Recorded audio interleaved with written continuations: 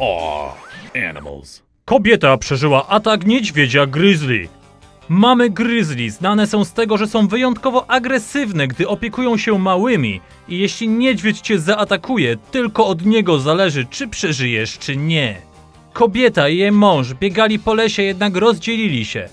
Kobieta biegła, gdy nagle zobaczyła niedźwiedzicę z dwoma małymi.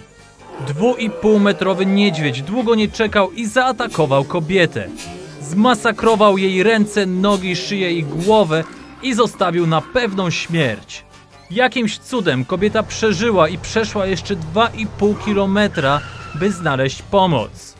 Wojsko USA radzi, by biegając po lesie zawsze mieć przy sobie spray na niedźwiedzie.